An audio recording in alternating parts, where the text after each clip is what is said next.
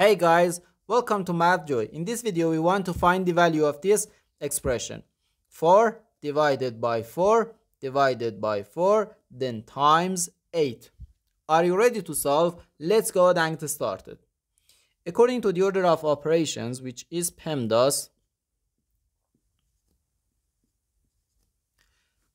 P stands for parentheses, E stands for exponents, M and D stands for multiplication and division, and A and S stands for addition and subtraction. We first do parentheses, then exponents, then multiplication or division, and finally addition or subtraction. Remember that multiplication and division have equal priority and we have to work from left to right. And the same applies to addition and subtraction. Here in this expression, we have two divisions and one multiplication. As I said, multiplication and division have equal priority and we have to work from left to right.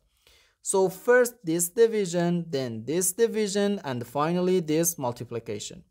4 divided by 4 is just 1. So 1 divided by 4, then times 8.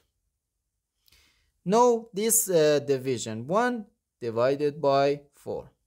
We can write 1 over 4 okay? So 1 over 4 then times 8 1 over 4 times 8 equals 8 over 4 and 8 over 4 is just 2 so our final answer to this problem is just 2